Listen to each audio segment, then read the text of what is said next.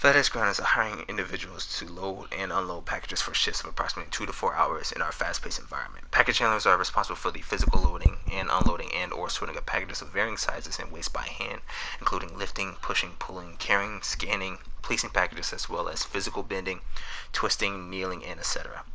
In a safe and efficient manner, shifts may vary depending on package volume and business needs. Package handlers will receive a competitive hourly rate and are eligible for an attractive benefits package including medical, dental, vision, vacation, holiday pay, parental leave, and tuition assistance after completion of an eligibility period. Flexible schedules are offered at many of our locations and will be discussed during the hiring process. Individuals who are interested in starting their journey with FedEx Ground must be at least 18 years of age and will be required to watch a virtual job before moving forward with the employment application process. Reasonable accommodations are available for qualified individuals with disabilities throughout the application process. Now, this is for the title of package handler warehouse. Uh, now, what to expect? Uh, well, first I'm gonna start off with the interview. Um, the interview itself. Uh, when I first went in to uh, get my first interview, um, I, was, I, did it online. I did it through uh, through email. That's when I got I got it from actually Indeed. I didn't even go onto the site. I got from the job Indeed, but that's neither here nor there. When I went to the place for my first interview, um, it took a few days for that to even get set up. Um, I had did my application actually like around August, so we were going into peak season actually. So yeah, um, basically on the first day you're gonna be there dressed up or whatever. You don't even really necessarily have to dress in business like casual or anything like that. You could legit probably go in like a hoodie or something like that. They, it's not really like a, a a professional interview, but it is at the same time. It's more or less just kind of letting you know what's happening here. It's not really a it's not really an interview where you can't get the job. It's one of those where like you're almost guaranteed to get the job. It just takes time for them to call you back because they have a lot of people who are constantly like going in and out of there. Um, I'll touch more on that later. But basically, yeah, you'll be in there with like a few other people, more likely sitting in a computer room while you're waiting for like the human resources uh, woman or man to uh, call you back there, depending upon what time you showed up. And basically, when you're back there, uh, when you're back there with the human resource person, they will uh, basically tell you about the job. They will tell you about what to expect with the job. You more than likely won't fail the interview. It's not really an interview for you to like get denied from, unless you just basically blatantly say, "No, I don't want to do this." You know, so like they'll just ask you, they'll ask you a few questions or whatever. They'll get some information down from you, and then they'll call you back for the first day of training. Now, your second day coming in, uh, you'll come in through the same the same doors. Uh, there'll be the metal detectors the metal detector thing um, you want to kind of keep all of your like stuff that could potentially set it off basically in your car or in your locker because then you're just going to be holding up people behind you because everyone has to get in through that same door um, also another thing i want to point out too uh, if you're going to go in the winter um, more than likely you want to wear composite boots composite boots would be the best footwear i can definitely assure you so you don't want to wear um, what, what are they called? Steel toe boots because those will set off the alarms. And I mean, those are set off the metal detectors. And it's a bit inconvenient to constantly keep having to take off your shoes when you're thinking about winter. Um, because you know if you're taking off your shoes and everyone's stepping around in there, that means that the floor is gonna be wet, and that means your feet are gonna get wet. So you know, um, it's it's just it's a way to avoid a minor inconvenience. That's all. Uh, but anyways, moving on to the second day, which is the first day of training.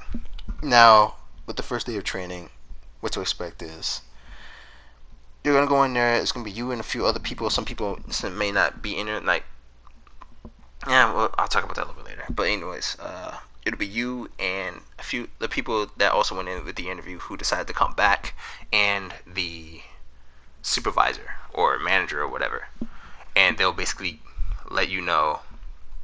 I mean, they'll basically be telling you about the job as well, but they'll also have you see a video and that video is about 20 or 30 some minutes long depending um and they'll be like commentating over it they'll be stopping it on occasion sometimes it's actually a, no it's not actually just a video it's actually like a, a presentation thing it's like a a slideshow kind of thing where it's like pictures is like you know they got like notes on it and then he'll be he or she will be reading it off um whereas in this like with the second shift is from like 5 p.m. to 12 a.m.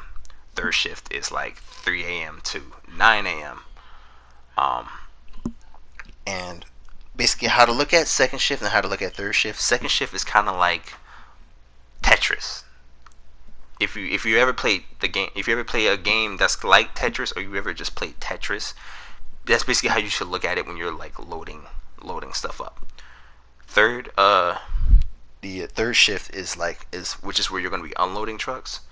That is like Jenga, where you're going to be like you know starting usually. Well, I mean, except except for the part apart from the fact that you're not you're not like taking boxes off from like the middle and like you know no like you want to prevent it from falling and it's the like it's like the relation with that. You want to just prevent the tower from falling. You want to avoid the walls from falling on you but again i'll touch on that later. Um but yeah third it's, it's like that.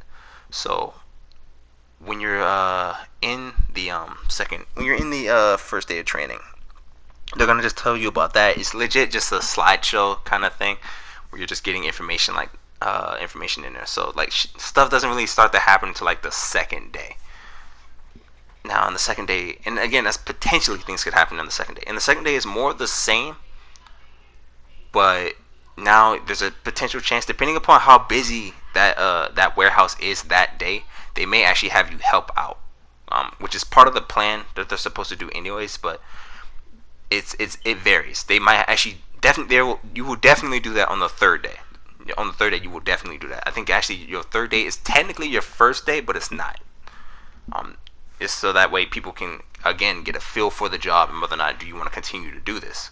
Because I'm gonna be honest, I came in there with about ten people, and um, again this is for the second shift. Came in there with ten people, and by my first day, only three people were still left, including myself. That means that's me and two other people stayed. So, yeah, uh, so that should let you know that the job is low key, no joke. Um, but I digress. Um, yeah, on the third day, you will be basically more than likely in a truck or whatever, um, depending upon which shift you started out in. Uh, they'll have you just like what they had me do to like start out is I went we went on the van lines and there was like nobody there and we were basically just like unloading these like trucks and putting them on the assembly the assembly uh, belt which legit had nothing to do with what we were actually going to be doing in the second shift the second shift is about loading. In other words you're going to be scanning boxes scanning the barcodes and then you know loading them into the trucks. We were taking them outside of the trucks. My first day I, I did what third shift does but i was listen like it didn't at all prep me for that. So basically whatever they have you do just know that i don't know if this is the case for every warehouse for fedex ground but keep in mind that whatever they have you do might not be in relation to what they actually might have you do if anything it's not even necessarily a test it's just for you to just to get a feel for what you might be doing they don't really know where they're going to put you yet until like your first day like it, I know it sounds unprofessional, and it kind of is. So you kind of have to just roll with it. Um, but like, yeah, that's pretty much what to expect on your third day. More than likely, that's when you'll actually start doing stuff. So then now, depending upon which shift, I don't. You can't ask me about first shift because I don't know anything about it at all. I mean, I think you honestly, I don't even think that's even package handler work at that point. But uh, yeah, then you got uh, so let's go on to like your first day. Now on your first day of, I'm just gonna start off with second shift. On your first day, they're gonna tell you about the uh, what are they called? The scanners. They're gonna tell you about the scanners. They're gonna tell you about safety, safety above all else. Um, everyone usually meets in a uh, set location to talk with the man as the manager gives like his uh his briefing of today. They usually give you the volume. Usually they give you the volume but you know that might not happen. And sometimes it varies. Sometimes they can't even get the volume out to you um, because they don't know. Because sometimes it changes. Sometimes they can be wrong. It's not on some kind of automated system. Well, I mean it is, but it's not. Um, so yeah, kind of take everything that you almost take everything that you hear with a grain of salt. I mean, just don't take everything at face value. I guess is what I'm trying to say there. But yeah, they'll teach you about the scanners. Um, so I'm trying to think as I'm doing this. This was like a, a couple months ago, but yeah, the they teach you about the scanners. They teach you about inputting the uh, scanner codes, which might take a bit of time for you to remember how to do it on your own. But it's it's it's a very simple process. Um, I don't remember all of it, but it's basically just inputting some numbers. Make sure you make sure you're um, you're in the right category on the uh, on the scanner as well. It's just all inputting that. That way you can set up set it up and then go to a chute and then scan that barcode. That way you're in a specific truck because all the trucks are numbered from like one to like twenty or not one to like 30 one to 20 or like actually no one to 29 because they actually they're set up in different load bays you have load bay 1 load bay 2 load bay 3 load bay 1 is actually for unloading. Load bay load bay 2 and 3 i think are for uh loading. So yeah uh you always want to they'll, they'll they'll let you know all that once you go in. Um, they are pretty uh, helpful with that, and you can always ask anybody questions. I never came across somebody who just like they were just like rude. You know I mean, now people may be having a bad day. I heard some pretty bad things about the van line. I never went there. Um, yeah, I heard that they they weren't the nicest of people over there. I mean, like just like a, a little small like quick story, I guess. Um, I mean, I, I heard that you know at one point, you know, like somebody was loading a van, like one of those van FedEx trucks they were loading it wrong, and like the driver came out and took all those boxes that that person loaded in there, threw them out and on the floor, and that person had to load it again because they didn't load it the way that the driver wanted it uh, in the back of the truck. So if you're put on the van lines, just know that just know that you need to do things in a certain way. I mean, you need to do things a certain way everywhere you are in the in the uh, in the warehouse, but probably the most there because that way you don't get annoyed and then throw a fit because you do they definitely don't want you to throw a fit because if you any insults or anything like that they have a zero tolerance for any of that like insulting somebody let's put downs any of that zero tolerance any of it that's meant in a very derogatory meaning any kind of way that can like you know some basically affect somebody's mood and piss somebody off or whatever you could potentially get fired for it so keep it to keep it on the low or keep it to a minimum you don't want to do it. Like don't don't even do it to yourself if you're trying to keep that job. Um, but yeah, basically, uh, with second shift, you're gonna be just like loading in the underbelly, load the underbelly and the uh, top portions. Now, you always start with the underbellies because all the and so we're talking about like the bigger trucks. I'm talking about the trucks, not the vans. Huge like trailers and stuff like that. You're gonna be loading these up, starting from the underbelly. The underbelly is underneath these big ass like oh, they're not that big, but they're like these these like square things that you lift up and like they hold onto the wall, whatever. They're the ones that like make sure that the bottom portion of it um, stays down that while the truck is driving. Um, I forgot the technical term for them, what they call them, but uh, yeah, basically you load up the underbelly first, and then you load up the back, and then you uh, load up the back of the underbelly as well, and then you close these lids, and then you start to lift, and then that's when you start to uh, load up the top portion of the truck, which is what you would normally see if you were looking to a, of a full truck. You would normally see the top part. No one ever pays attention to the underbelly. Um, and that pretty much sums up that uh, the second shift. Um, the second shift actually has uh, oh, and like ICs. Um, they definitely want you to get ICs out as quickly as possible. Um, as far as like, oh, what up? Appreciate it. As far as timing is concerned you definitely want to, um, as far as timing is concerned, you definitely want to, uh, you want to move fast, but like with the second shift, I never really got rushed. You know I mean? They're, they're pretty patient there. Unlike the third shift where you would, you have to move like three seconds per box.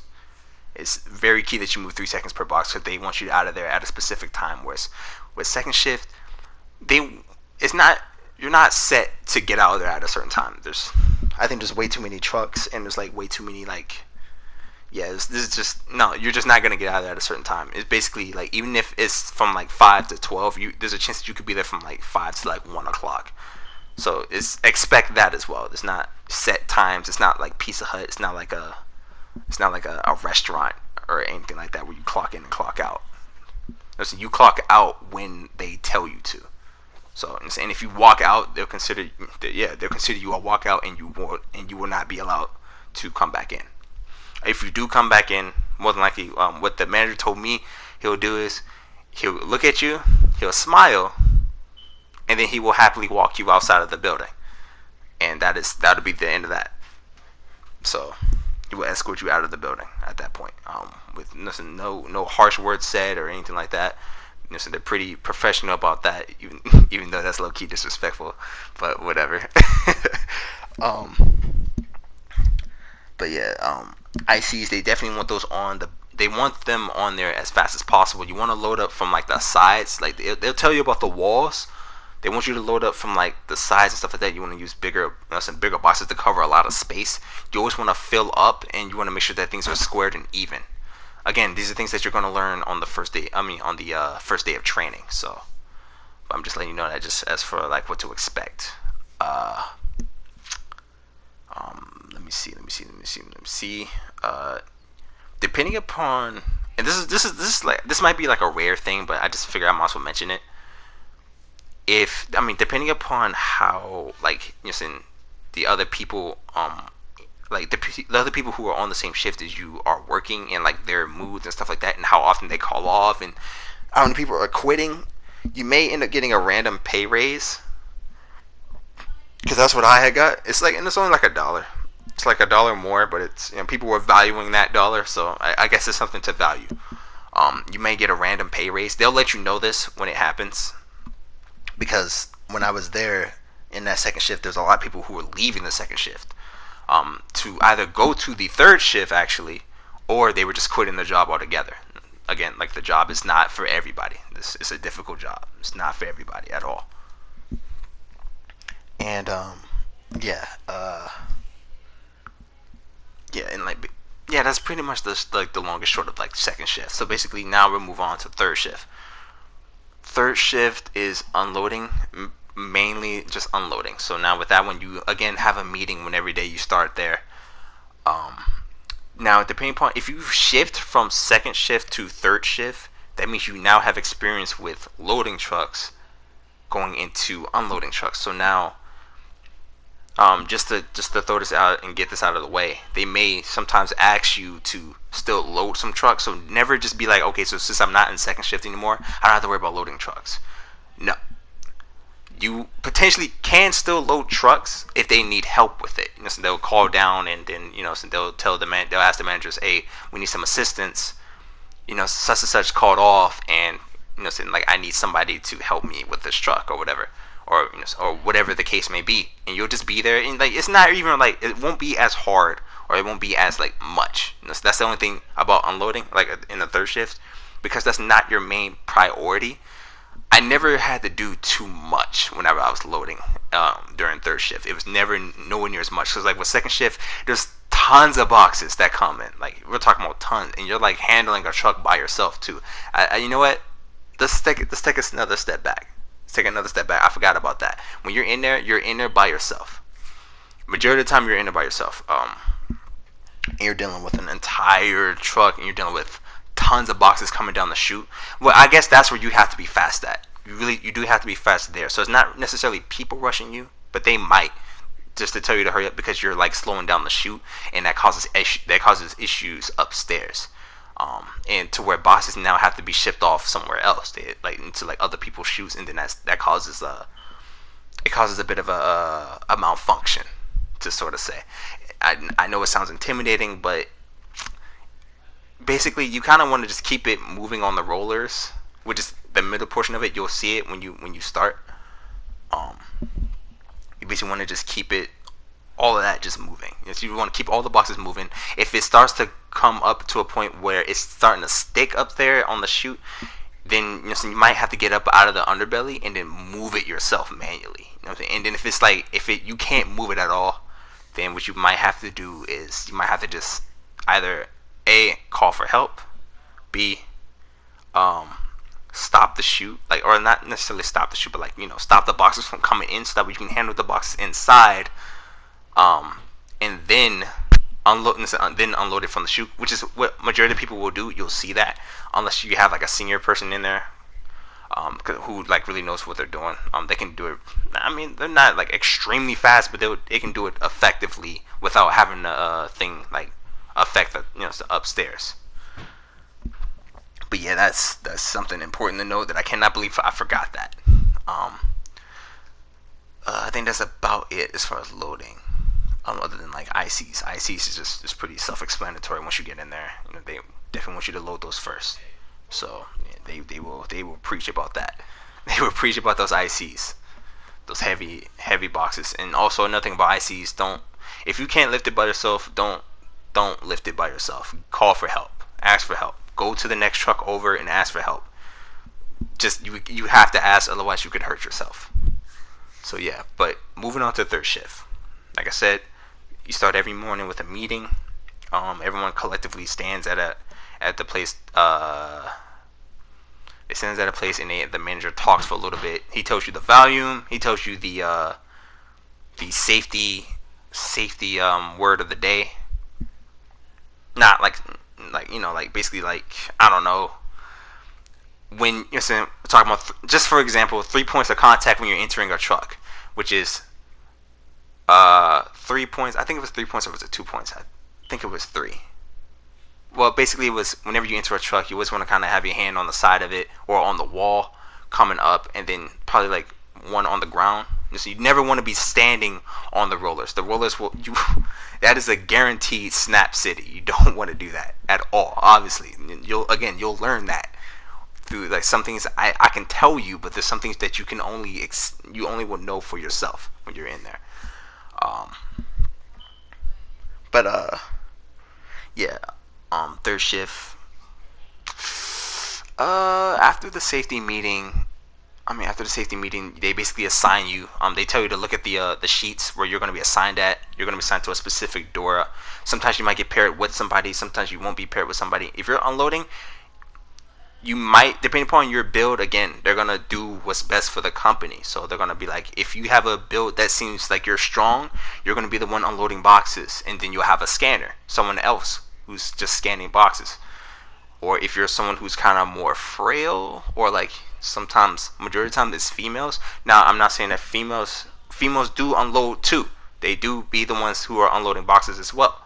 I've seen a few of them. Right, sometimes it's a, a dual female com- uh, combo going on where like the fe- there's a female unloading boxes and there's a female scanning as well. Listen, like it's they're they're not uh they don't discriminate on that.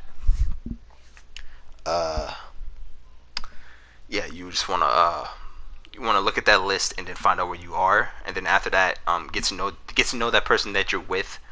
Um, you don't have to. It, it can be a very talkative job, oh, and they are really big on communication there. Especially depending on whoever you work with, also might be pretty big on communication. Um, because you have to you have to tell them like you don't want to send up heavy boxes. That's the thing about unloading versus loading. Loading boxes are coming down to you, so you don't have to worry about that. Plus, on top of that, majority of the time you're working by yourself because you own the scanner and you're the one loading the trucks. Sometimes you'll get help with that, but majority of the time you're by yourself. Um, and like I said, with unloading, you can get help, but majority of the time, especially like around like this time, whenever this video comes out, which it'll come out recently, um, it'll come out soon. It won't take like it. They will. You will definitely more than likely be working by yourself. Now during peak, when like the volume increases, depending upon how that would depend on how many people you have in the warehouse, how many employees are working unloading. If you don't have that many, more than likely you'll probably still be working by yourself. Um, so yeah, uh, keep that in mind. Uh, typically, towards the ending of nights, you people start to come in and help you. Um, some people do. Some people just leave. People leave at random times, either because they can't do the work or you know whatever the case may be. Uh, let me see what else. What else? What else? What else?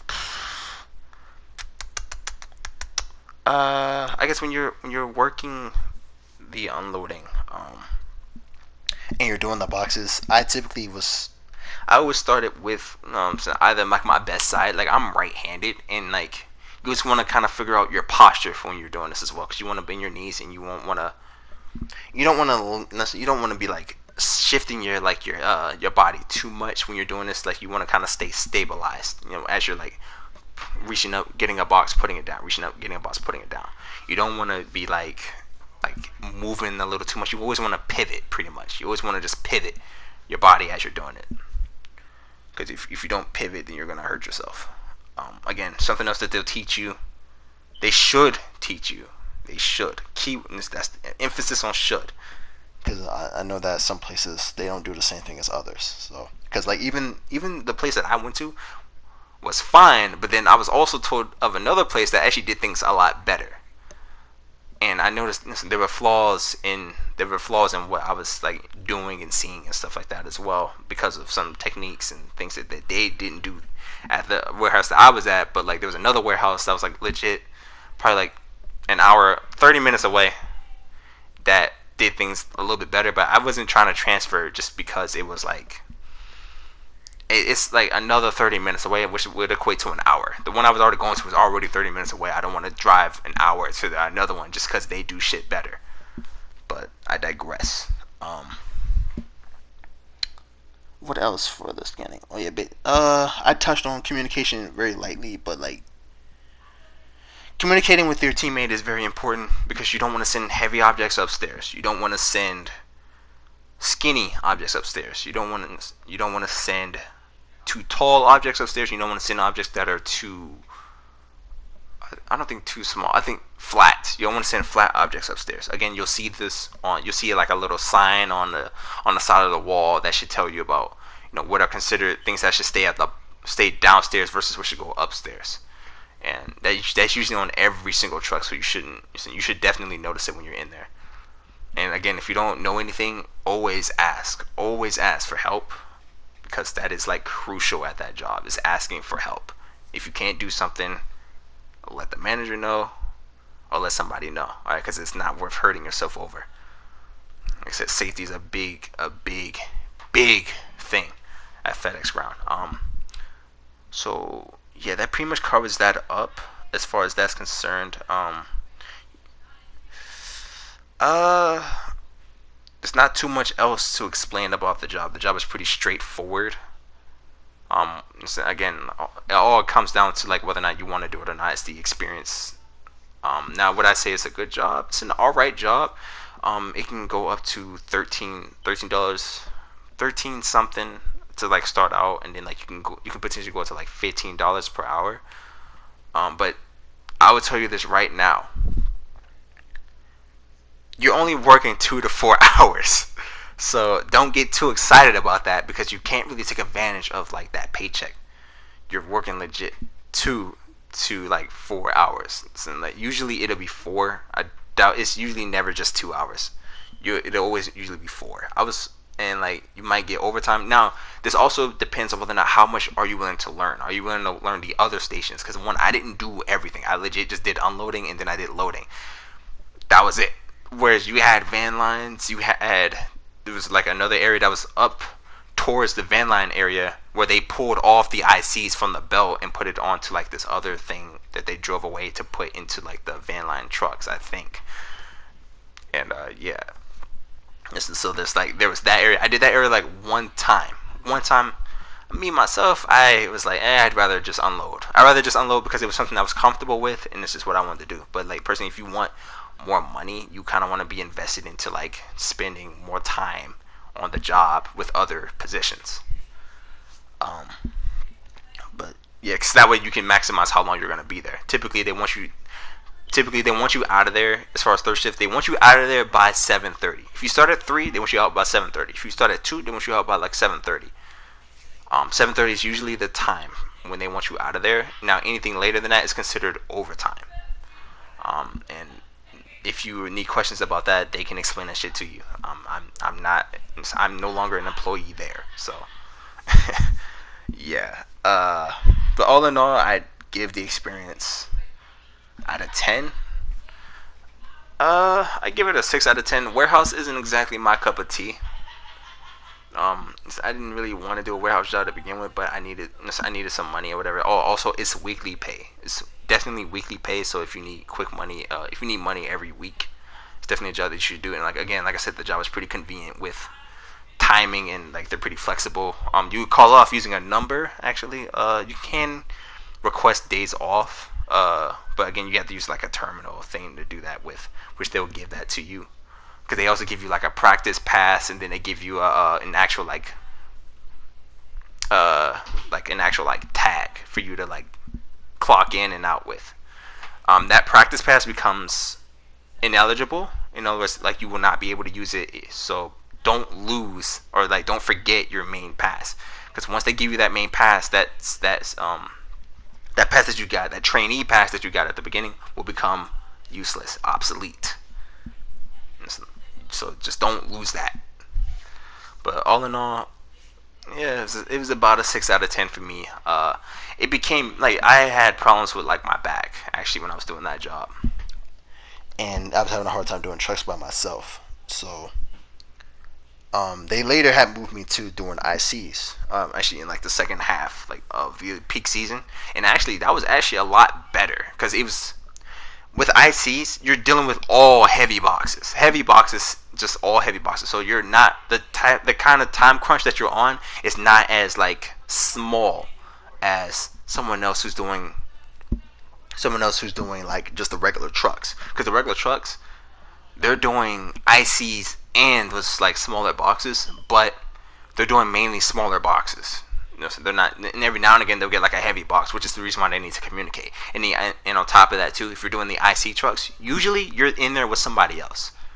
You're in there. It's usually a two. That's a two-person truck because it's all heavy boxes, and sometimes those boxes are just at impossible angles. And like that is another thing about the job. I cannot stress this enough. Impossible angles impossible angles. you have to work around them.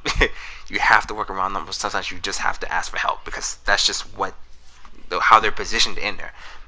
That's just how they're positioned in there. Like you just need help sometimes to just get them out of there. I can't tell you how many times I've like I've had to like ask for help, like just to lift a box that's like wedged in somewhere that's weirdly wedged in there, or like like the where you where you stand at versus where because like once you get into the underbelly when you're unloading, like you're lifting up, because like once you're done unloading uh, unloading the top part, now you have to like start and you have to unload the underbelly now. So now you're lifting up those lids and stuff like that, and you're going all the way either to the back or you're starting at the front. I think typically they'll tell you to start at the back. Um, so yeah, you'll probably be doing that. And once you start at the back, you are basically lifting the boxes up and to the rollers.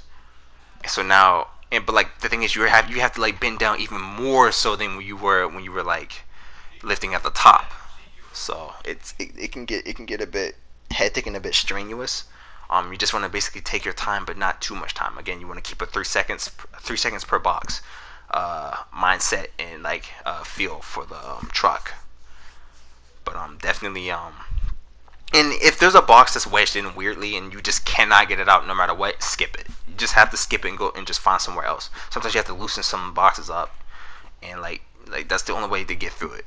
I mean, sometimes I remember I was in a one of these really old trucks to where like you have to like once you get to the back, it's not just like the back truck. It's not just like the top part and then you're going into the underbelly.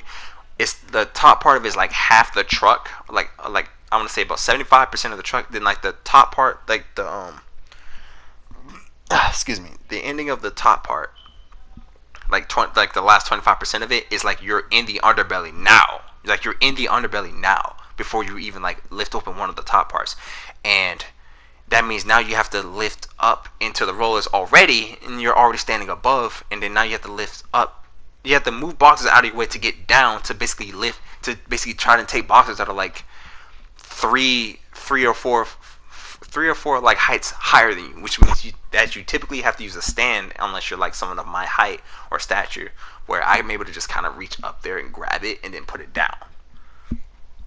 Um, even then, sometimes some boxes are just up there. So, but like again, what I was doing, that was dangerous. That was dangerous because if I had moved, if I wasn't paying attention, I could have moved the box the wrong way, and then if I hadn't seen a box, a box could have landed on me and like hit me, which I did get hit. You are going to almost guarantee get hit with a box. you're almost guaranteed. If you work as a package handler, you are almost guaranteed to get hit with a box, whether you are loading or unloading. Uh, I only received one actual injury from getting hit with a box where it cut up my back. Um, it was an IC that it was a wooden IC that I um, didn't notice. Um, and like I said, ICs can range from like all types of different things. They can be like like steel rods. It can be like these like really heavy, really heavy metal sheaths. Uh, like like straight up like things that could give you splinters. Like just like this big ass wooden plank could just be it. You know what I mean? Like these, like like ICs are anything. It could be anything. It could be listen, like you got tons of tires that are in there, uh, rims that are in there. Like and these like these are heavy objects. Some of them are not heavy. Some of them look heavy, but they're really not. It's it varies. Again, look at the barcodes and you'll know. Sometimes like, like you'll just get a feel for it when you're in there. But uh, yeah, I think that's about it as far as FedEx Ground is concerned. It's yeah, I think I think that's about it. Um, up to fifteen dollars an hour. I, fifteen thirty was is what I was last making, um, and that was like again I was that was around peak season, which is where they give you that extra dollar, and then it goes away. It goes away actually uh, when January hits. So when you get those extra dollars, value them. That's all I can really say about that. Just value them. But uh, yeah. Um, that's all in all. That's all I really have for you guys. Um, if I missed anything when you, when you go into there, please message uh, if anything comment on this video saying that I oh I didn't say this about the video. Why didn't you tell me about this? And I will if I remember it, it I will I will like contact you back and I'll be like oh my bad. Yeah, this happens. So, but yeah, that was all I had for you guys. So appreciate it and thank you for watching.